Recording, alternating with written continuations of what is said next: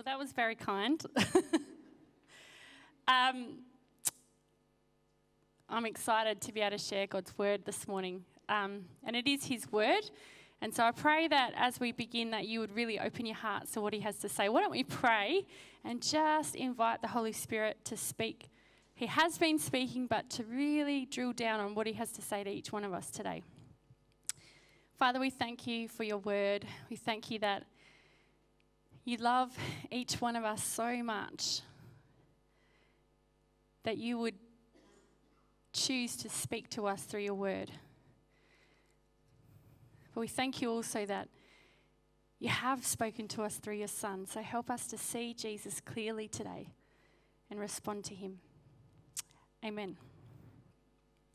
Do you know the greatest miracle of all? We've been talking about miracle working faith. The greatest miracle of all is how Jesus works in a human life to bring transformation, how he transforms the human heart.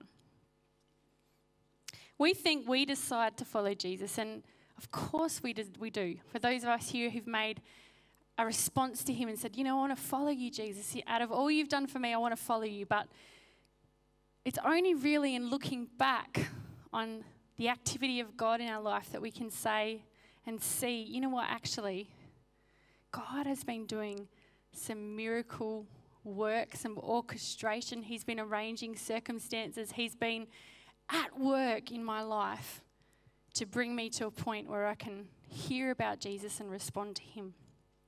Do you know there's so much activity and working and wooing and sovereign orchestration of events and circumstances from God's part that He takes the initiative and He orchestrates His saving work in our lives. It's amazing to see and to watch Him at work. Do you know there's a famous preacher and minister from the 1800s, Charles Spurgeon, who tells the story of a man who once went to church to listen to the singing, but he didn't want to hear the preaching, so he put his fingers in his ears. I've actually had that before where I've preached and someone's put their fingers in their ears. It's really encouraging. So if you're thinking of doing that today, you know, God bless you. but as soon as the pastor began speaking, he, he did this, and after a while, an insect landed on his face. So he had to take one of his fingers out of his ears to swat the insect away. And just as he did that, the preacher said, He that has ears to hear, let him hear. this is true. and so the pastor must have been reading the words from of Jesus recorded in Matthew 11 15 because suddenly the man thought, oh, he's talking to me. I better start listening. So he began to listen, and God met with him powerfully. And he became a devoted follower of Jesus. You know, we can be determined that we're not going to listen to what he has to say, but God has a way of getting our attention. Don't you reckon? Last year on the 3rd of September, we had, uh, 3rd of December, we had a water baptism service here at the Christian Family Centre at night. And water baptism is an outward symbol of what has already taken place. Jesus uh, commands us to be baptized if, if, to publicly identify ourselves as followers of Christ. And we had a water baptism here, and there was three people who got baptized. It was an amazing service, but um, I just wanted to quickly mention, as a, an example of the miracle working God, one of the, the men who stood and publicly declared his faith was Louis Garachi. Hi, Louis. Didn't know you were going to be in the sermon today. but he stood up and said, You know, I'm getting baptized because I want to follow Jesus and declare my allegiance to him. And you see, God had been working powerfully in Louis' life to bring him to a point of bowing his knee to Jesus. But in an unexpected set, set of circumstances, his father, Mario, a wonderful man who was part of our church family and is now in Jesus' presence in heaven, he became unwell and was admitted to hospital. And one of our creative ministries team members, Lee Triantfalu, and um, was at the hospital to support Louis' sister Angela and mum Maria, who also come to our church.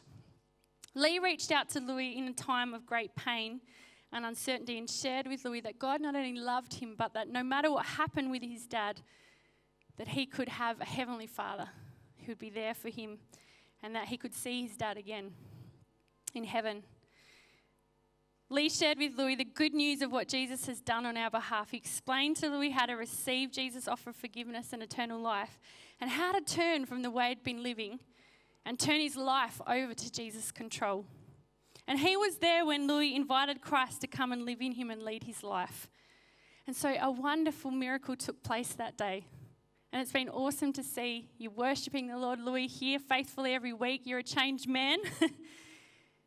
but in the middle of grief and loss, Jesus came up close and personal and got his attention. And Louis has been following Christ ever since. God was at work. He was at work, even through the circumstance of his dad's illness. It's amazing when you see how God works in our lives. Looking back, I can see God's activity at work in my life. And for many of us here, maybe you're thinking about scenarios and people and ways that God has been working to lead you to a point where you come to faith in Jesus. Maybe some of you here today haven't taken that step of faith yet, but I think God's been at work to get you here, to be at church today, to hear this message, to keep hearing about Jesus, to explore more about Him. God made me for Himself, but I wasn't looking for Him or interested in knowing Him. He did everything necessary to make it actually possible for me to have a right relationship with Him. And He did the same for you. In 2 Corinthians 5, verse 19a, it says, For God was in Christ reconciling the world to Himself, no longer counting people's sins against them. God was in Christ reconciling the world, making a way for people to know Him, not counting their sins against them. When I wasn't even looking for Him, before I was even born, Jesus had already died in my place for my sin. So, this barrier that separated me from a holy God could be dealt with, so that my sin could no longer be counted against me.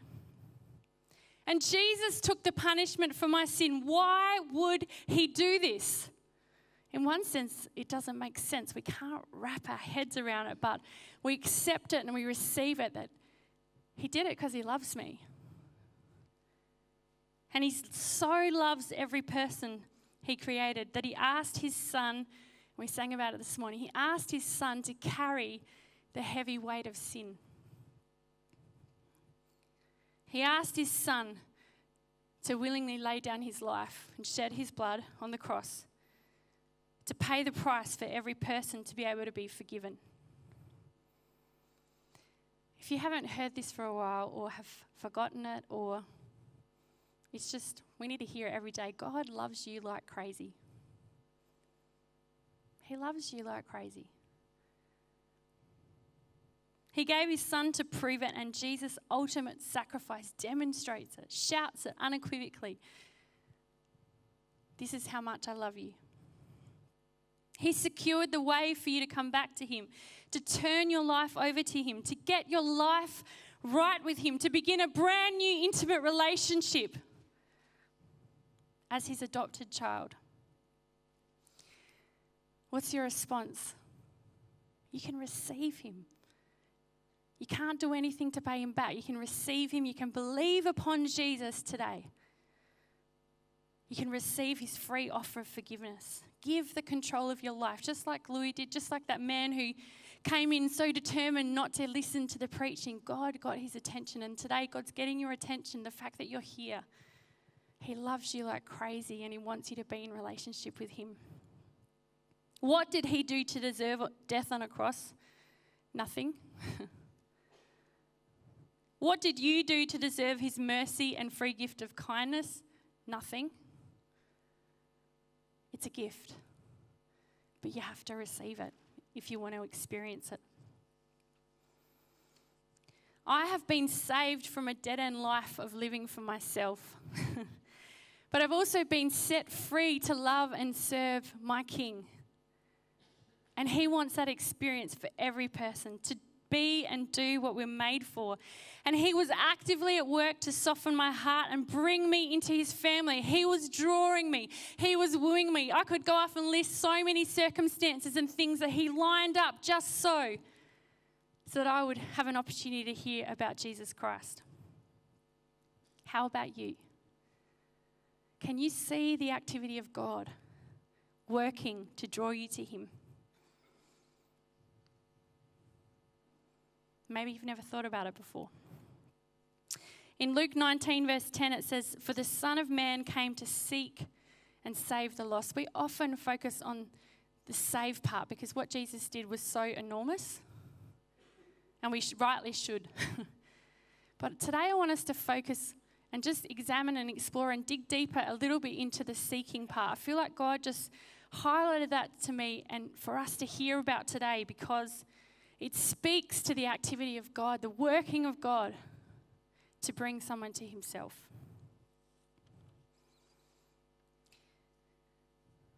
I want us to look at a woman in John chapter 4. And uh, it's a big contrast with John chapter 3. In John chapter 3, we meet a man called Nicodemus, who was a religious, a man, a religious leader. Uh, he was someone who was held in high esteem, was part of the ruling council. He was well educated, knew the scriptures, um, impeccable character. He came to Jesus at night because he didn't really want his mates in the ruling council to know that he was asking questions about who Jesus was. So he came to Jesus. And you've got to read that, how Jesus answers and responds to him. He basically says, You know what? I don't want to get into a dialogue. And he went straight to talking about that Nicodemus, though he knew the scriptures and knew all these things and was this impressive guy, that he needed to be reborn actually come spiritually alive to God as he put his trust in Jesus. So you can read that. But in John chapter 4, there's a massive contrast. We meet someone, a woman, unnamed, from a people group that were really hated, actually, by the Jews. that she was hated because she was a Samaritan, and Samaritans were viewed by Jewish people as spiritual half breeds. They were related to um, the Jewish people way, way back, part of the northern kingdom of Israel that then broke away, and, and that, that whole um, Samaria and everything fell, and uh, they racially, they intermarried with people living in their nation who were not from the Israelites. And so, because of this racial intermarriage, they were no longer considered to be truly Jewish. They were actually hated. And under Jewish law, a Jewish person would have been defiled and spiritually unclean by associating with this woman.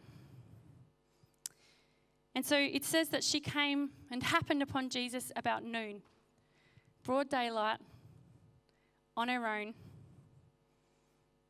in the heat of the day. This woman came to a place called Jacob's Well to fill her water container. And often we focus on her and talk about her, but I was just struck by the miracle working faith of Jesus in seeking her. I want us to look at that, um, unpack that. In John chapter 4, verse 1 to 4, it says this Now Jesus learned that the Pharisees had heard that he was gaining and baptizing more disciples than John, talking about John the Baptist. Although, in fact, it was not Jesus who baptized, but his disciples. So he left Judea and went back once more to Galilee now he had to go through Samaria. And I'd always, that little he had to go, I'd always skipped over that and thought, oh, yeah, yeah, cool, I understand talking about geographical things, but it's actually not talking about geography there. Jesus didn't have to go through Samaria in the way that we thought he had to. We think geography when we hear that. But if you take a look at this map, the dotted line is the usual route, the indirect route that every Jewish person would take to get from Judea through to Galilee. They completely avoided going into Samaria because they hated Samaritans. And so, the usual way for people to take when they were journeying from um, Judea to Galilee was not through Samaria. But Jesus took the direct route. When the text says he had to go to some, through Samaria, I actually think God is giving us a picture of what compelled Jesus to go through there. He was compelled to go through Samaria because the Holy Spirit had shown him that either he was to seek out a conversation with a woman who he would meet at a well, or maybe the Holy Spirit just said to him, I want you to take the direct route this time. I don't want you to go that way, I want you to go this way. And he stepped out in obedience. You know, Jesus, while he was on this earth, fully relied on the Holy Spirit. I don't, this is my guess. I don't really know. But I don't think he had the whole situation mapped out in front of him. I think as he took steps of obedience, that God actually unveiled and showed him what the big picture was. He was being led of the Spirit and obedient to his Father's will. He had to go through Samaria because it was part of his Father's will. It was part of his purposeful mission. He had an appointment with an unnamed woman who was hated, and he had to go through Samaria. In John 4 4, it says, Now he had to go through Samaria. We've got that bit. So he came to a town in Samaria called Sychar or Sychar, near the plot of ground Jacob had given to his son Joseph. Jacob's well was there. And Jesus, tired as he was from the journey, sat down by the well. You know what I noticed about this? The Holy Spirit just started to just show me little things about Jesus and his miracle working faith. He wearied himself to get to that well. It actually took deliberate effort for him to get to that place to be able to talk to that woman. He was inconvenienced. It might have taken him days to get there. The journey took deliberate effort. Maybe the Holy Spirit prompted him that it was time to take a rest right there by that well, to send his disciples off to the nearest town to get themselves some food, and then they were going to carry on on their journey. But maybe the Holy Spirit showed him that he needed to be waiting there, right there, right at that time, because there was someone who was coming that he needed to talk to. Perhaps as she was walking towards him, the Holy Spirit nudged him Ask the woman who arrives at the well for a drink. The Father is drawing her. She's going to be one of your followers, Jesus. Get ready. Here she comes. And when she arrives, Jesus says to her, Will you give me a drink? The Son of God asked an unnamed woman in that culture who was hated for a drink. That's amazing. The Samaritan woman says to him, What? You're a Jew. You're a single Jewish man. You shouldn't even be talking to me. I'm a Samaritan and you're asking me for a drink? What's going on? She, she was bowled over because Jesus crossed a barrier to speak to her. He crossed a barrier. He crossed a racial barrier. He crossed a social barrier. He crossed a cultural barrier to speak to her. And she didn't know what to make of that. but Jesus answered him, her in John 4, verse 10. He says, If you knew the gift of God and who it is that asks you for a drink, you would have asked him and he would have given you living water. He doesn't want to get stuck on the nitty gritty of who should be associating with who. It's glaringly obvious that he has taken a step and crossed a barrier and spoken to her. it's glaringly off, obvious that he's taken an interest in her. He doesn't even answer that question. He actually talks to something much deeper. The deepest longing of every human heart. He starts to talk to her about meaning and purpose. The longing for meaning and purpose. He starts to spark and stimulate in her a spiritual thirst.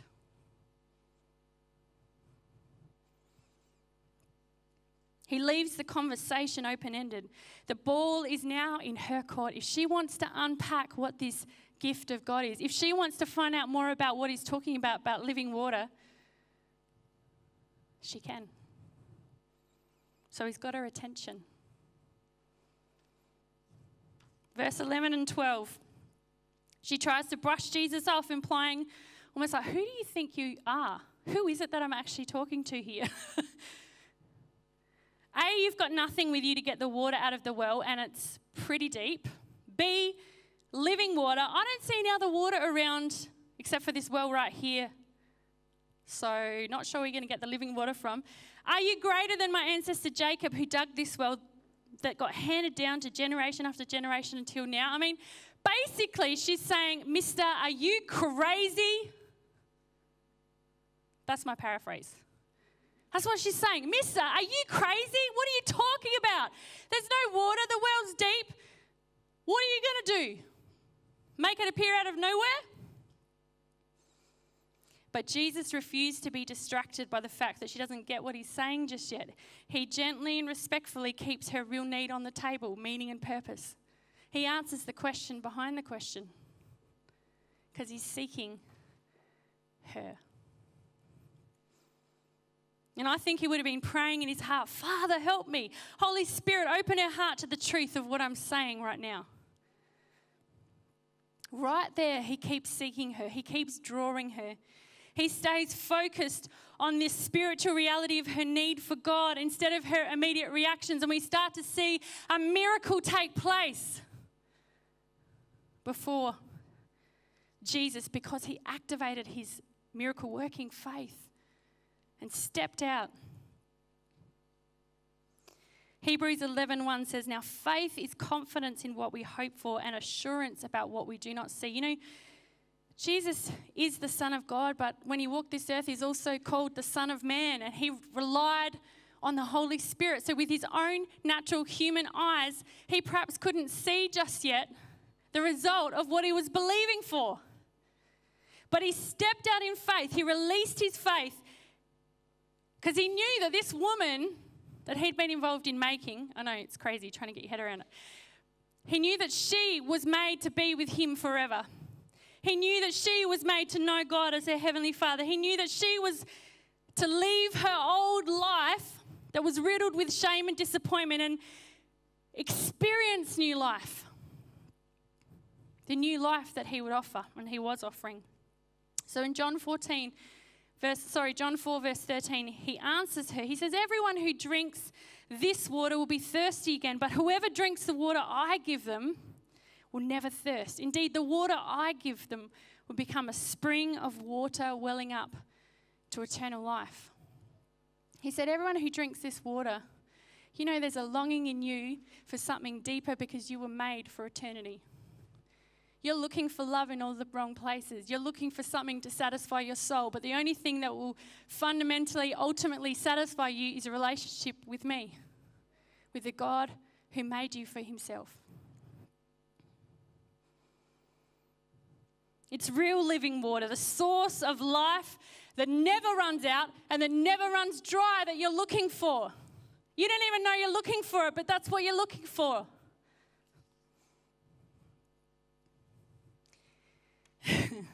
And she responds, Okay, seems like you really going on about this living water. You have an answer to my problems. Great. If you could just make a spring appear perhaps closer to where I live, it would be much easier for me. I wouldn't have to come here every day and find this water. I mean, she's, she's I think she's just going along with playing along, thinking, yeah, yeah, this guy might be a bit crazy. but Jesus says, I don't want to answer just your problems. I know everything about you. Go and call your husband and come back. She says, I don't have a husband. He said, You're right, you don't have a husband. You've had five husbands, and the man that you're now with is not your husband. And she's like, Okay, this is getting a little weird. I think that's what she thought to herself. But basically, she asked, I can see that you're a shepherd. It's like, whoa, what's okay? What's going on here? And basically, my paraphrase is she says, Well, I'm not really into the whole Jewish religion thing. My ancestors were okay to worship on this mountain right here. You Jews claim we must worship in Jerusalem. Again, Jesus doesn't get pushed off track. He says, You know what? God is seeking worshippers, true worshippers. It doesn't matter where, where physically you worship, the time's coming, it's now here, where true worshippers will worship God enabled by the Holy Spirit and out of the core, out of the authenticity of their whole lives. As they agree with what the scripture says about me and who He says that I am, they'll worship me. And she responds with what a lot of us do when things are a little bit up close and personal, thinks, hmm, okay, this is getting a little bit heated. I'll think about that later. She basically says, I know the Messiah called Christ is coming. When he comes, he'll explain everything to us. I don't want to think about this right now. And this is when Jesus reveals who he is to her. John 4, verse 26, it says, Then Jesus declared, I, the one speaking to you. I am He. And the lights go on. The Holy Spirit helps her understand, makes it abundantly clear. It's, it's true. It's true. And I reckon just try and put yourself into the situation of what thoughts would have been flooding into her mind as she comes to this realization. I've have a, I have a guess about what she was thinking because I'm trying to put myself in that situation. You, you are the gift of, of God. Wait, there's actually really is a gift of God. You, you're the one who offers me living water. Wait, there is such a thing as eternal life. You are the Messiah, the one I'd heard about, right here in front of me. You, you know everything about me. And you ask me for a drink. Me. But you know everything, like everything about me. You know, oh my goodness, you know everything about me.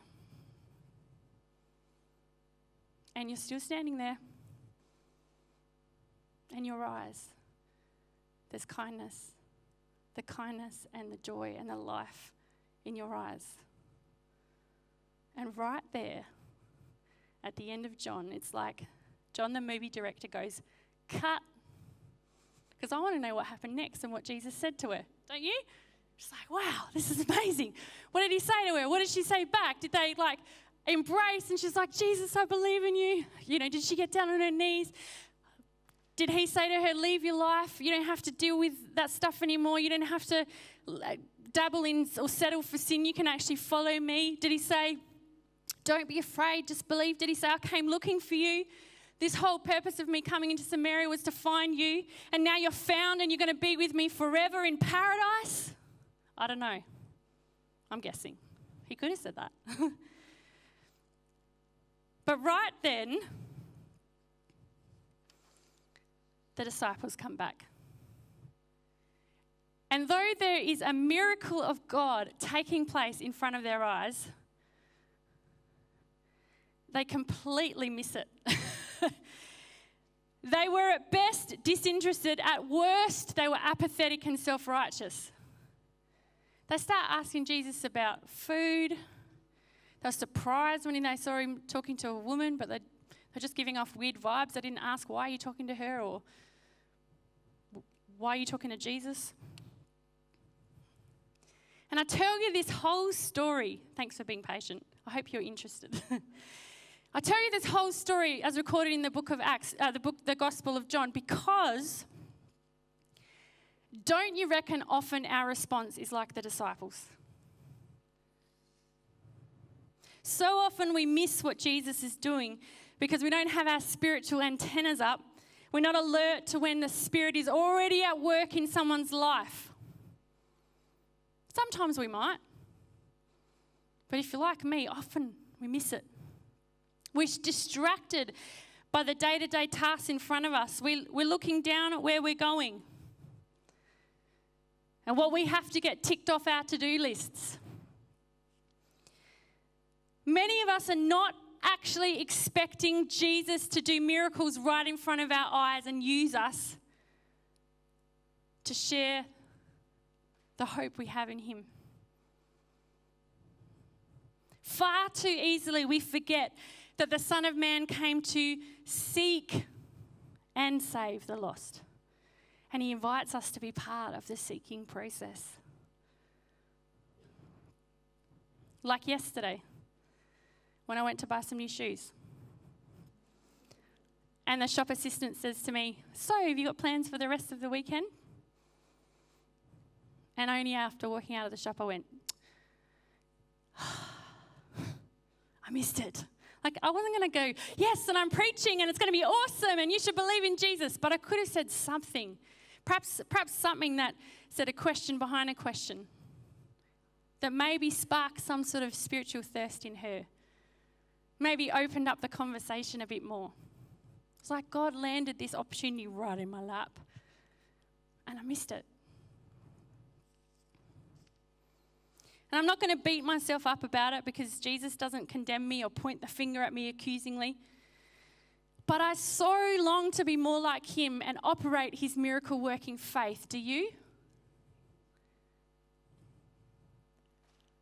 We're not going to do it perfectly, but he wants us to partner with what he's doing in this seeking and saving of people. And I'm praying and asking the Lord to fill me afresh with the Holy Spirit and keep on giving me this compelling urgency that was just oozing out of Jesus because he had to go through Samaria. He had to. His love compelled him to go. I'm praying that God will keep giving me his compelling urgency to cross social, racial, or cultural barriers, even unspoken ones. To rely on the Holy Spirit to help me engage in spiritual conversations, to cooperate with his Holy Spirit and keep my ears attuned to his promptings. To step out and trust the Lord to step in with power. But mostly, I'm praying God would help me expect real salvations that I'd sow a seed that would help someone take a step closer to Jesus, or that I'd actually have the privilege of leading them to faith in Christ. And it's a prayer I know Jesus is committed to answering because it's what he's about. In Matthew 9, it says that he went through all the towns and villages, teaching in their synagogues, proclaiming the good news of the kingdom and healing every disease and sickness. When he saw the crowds, he had compassion on them he had compassion on them. When he saw them, when he really saw them, when he saw with spiritual eyes, he had compassion on them because they were harassed and helpless like sheep without a shepherd. And then he said to his disciples, the harvest is plentiful, but the workers are few. Ask the Lord of the harvest, therefore, to send out workers into his harvest field.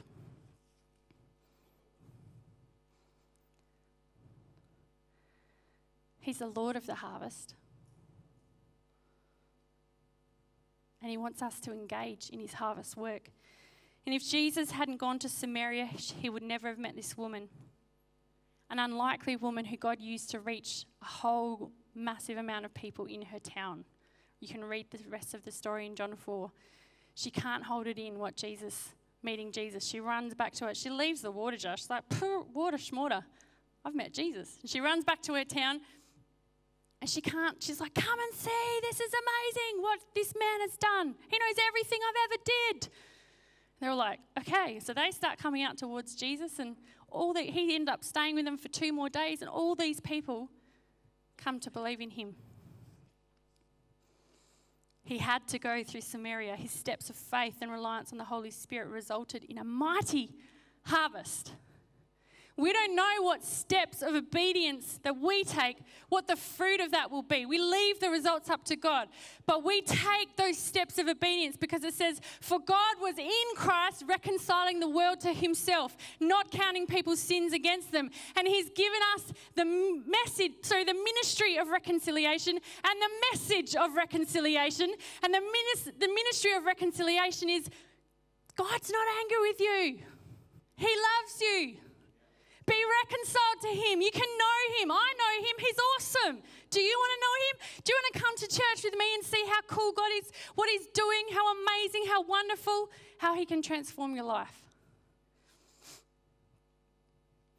The end of last year, as I was thinking about 2018, I distinctly felt the Holy Spirit giving me a God whisper. And I know that this is an, according to His will because it's what He talks about.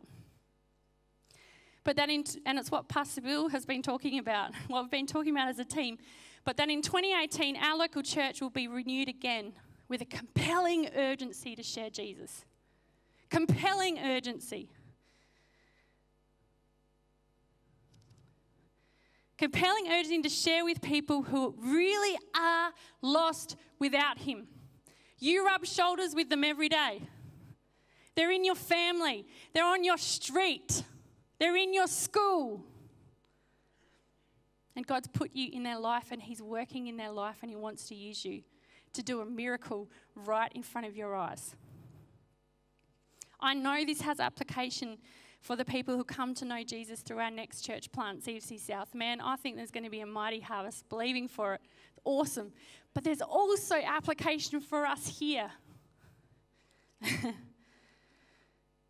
To gather a harvest, there's an urgency to get it done in a certain time frame so the crop is not spoiled. There's a spiritual the spiritual harvest is even more urgent because we know Jesus is coming back. We don't know the time or date. It says he's going to come like a thief in the night. There's an urgency. I think about that sometimes. Jesus, you could come back tomorrow. Flip. like it actually prompts us into action to take seriously his words go. To reap a harvest in biblical times, there needed to be many laborers for the work of harvesting. There were no tractors. There wasn't a big harvester machine with a guy with his glasses on listening to the cricket driving along going. Brr, brr, brr, wasn't a one man show, people. It was a harvest of lab- laborers in the harvest, working shoulder to shoulder with one instrument in their hand, doing their bit to reap a crop. In John 4, verse 35 to 36, he reminds his disciples this morning, he's reminding us, Don't you have a saying it's still four months until harvest? I tell you, I tell you, I'm Lord of the harvest and I'm telling you, church, open your eyes and look at the fields. They are ripe for harvest, even now. The one who reaps draws a wage and harvests a crop for eternal life so that the sower and the reaper may be glad together. Open your eyes. Not just down, next step in front of you. Attune your ear. What is God doing? How is He at work?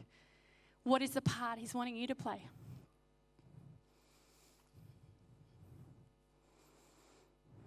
In 1 Thessalonians 1, which has been part of our life journal reading this book over the last week, but I read the other day and it really stood out to me. It says, We remember before our God and Father your work produced by faith, your labor prompted by love, and your endurance inspired by hope in our Lord Jesus. And then just a few verses later, it says, The Lord's message rang out from you Imagine if the Lord's message rang out from us. What could God do? When we align our faith and release our faith and believe that He could use us, what could He do this year? I'll tell you what He could do. We could pack this place. Do you believe that?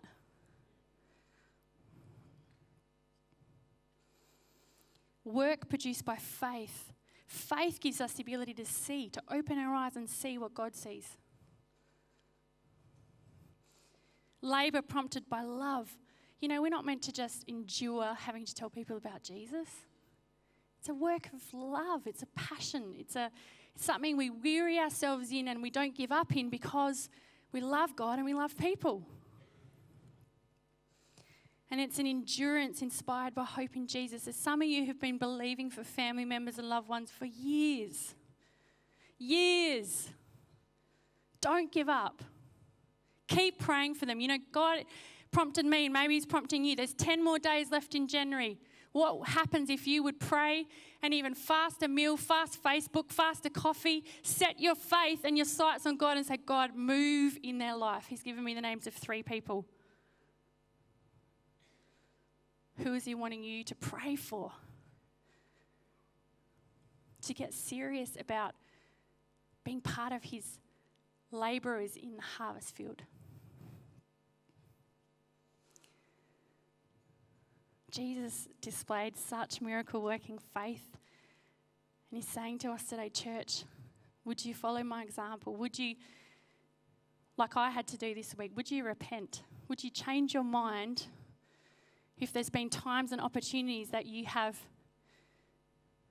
not had your spiritual eyes open, when you have not been looking up and seeing what I'm doing, would you turn back again to me and ask me to fill me, to fill you with the Holy Spirit? Because I'll do it. You want to pray a bold prayer? Say, Here I am. Use me, God, as one of your laborers. He'll do it. But He asks us to turn our hearts back again, to have His heart of love and compassion to be part of that seeking process. Not just one or two, or three or four, or 10 or 12, or 15 or 20 or 30 or 40. No, it's easy in a church to think, oh, that's someone else's job. You know, no, God wants to use you right where you are with the people you know and love. Why don't we pray together?